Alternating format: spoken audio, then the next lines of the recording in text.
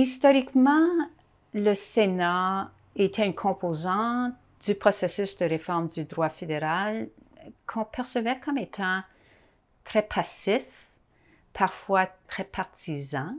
Un des modifications les plus importantes au niveau législatif fédéral dans la dernière décennie, c'est le mouvement vers un Sénat qui est beaucoup plus indépendant, beaucoup plus activiste. Et donc, c'est très, très important pour le mouvement féministe, pour les féministes qui cherchent euh, à promouvoir la réforme euh, du droit fédéral, de miser sur le Sénat. Historiquement, c'était les comités euh, de la Chambre des communes, les députés, on, entretenait surtout avec, avec elles, avec eux. Mais le Sénat maintenant représente un lieu de réforme du droit fédéral hyper important.